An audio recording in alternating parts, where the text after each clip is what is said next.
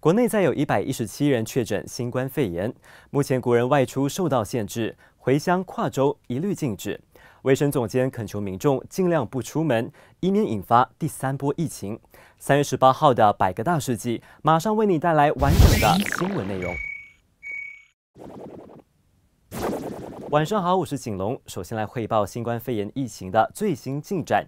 卫生部指出，我国今天新增了一百一十七宗新冠肺炎确诊病例，累计病例达七百九十宗，其中八十个案例和吉隆坡大城堡传教士集会有关。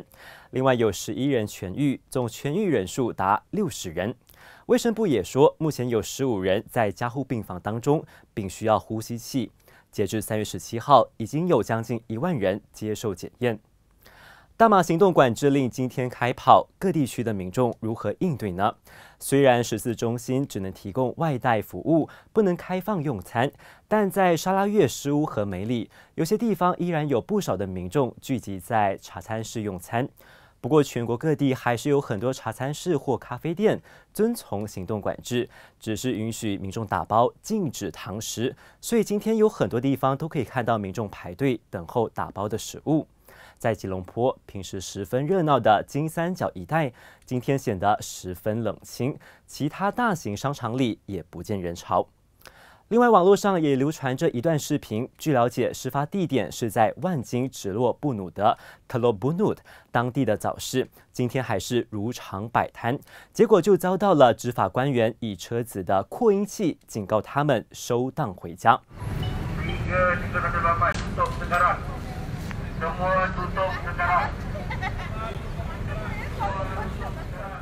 此外，霹雳州新闻局也出动车子在社区内。呼吁民众留在家中。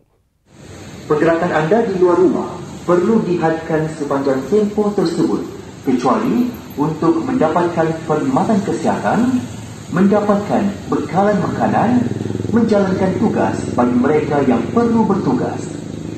Selain itu adalah lebih baik kita semua berada di rumah untuk mengawal penyebaran virus berbahaya COVID-19 ini.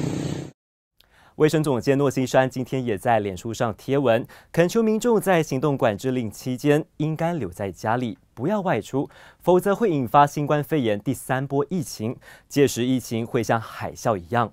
他指出，要阻断新冠肺炎病毒传播网的机会渺茫，但每个人都可以做好本分，认真看待行动管制令，留在家里，不要外出。另一方面，政府最新颁布的宪报里头指出，二零二零传染病防范和控制通令从三月十八号开始生效到三十一号。依据条规，国人是不被允许在州内或联邦直辖区里头从一个区域移动到另一个区域，除非基于以下原因，包括说执行公务、购买。供应或运输食物与日常用品，寻求医疗看诊，有限度的在特定建筑物里头移动，以提供必要服务。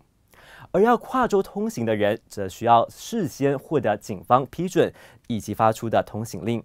不过，就像昨天晚上突然撤回必须向警方申请出门通行证，如今并没有新的宣布。而根据消息指出，全国总警长阿杜哈密正在和国家安全理事会开会，商讨执行方案。此外，从外国回马的大马公民或永久居民，在抵达我国之前，应该接受身体检查，才能够被允许入境。政府重申，在禁止跨州通行通令之下，政府也禁止一切理由的聚集，除了限制最少人数的小型丧礼。一旦违反条例，可被罚款不超过一千令吉，或监禁不超过六个月，或两者兼施。一旦机构违反条例，其董事、经理、秘书或相关的负责人也可以遭到提控。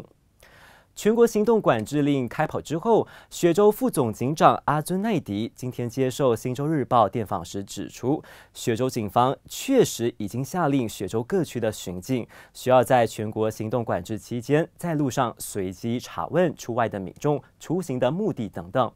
而警方在查询之后呢，也会劝告民众遵守指令，留在家中，减少外出。另外，今天也有民众拍到路上有坦克和装甲车经过，结果就引起了一些揣测，指这一些军车是为了行动管制期间所部署的。对此，英文《新报》引述国家安全理事会发言人的说法说，向国民保证，目前有关单位尚未部署军队来执行行动管制命令，有关坦克、装甲车只是返回基地而已，因此民众无需惊慌。内政部今天也呼吁民众，如果发现有人违反了行动管制令，请向内政部的行动室或附近的警局举报。最后，感谢收看，我们再会。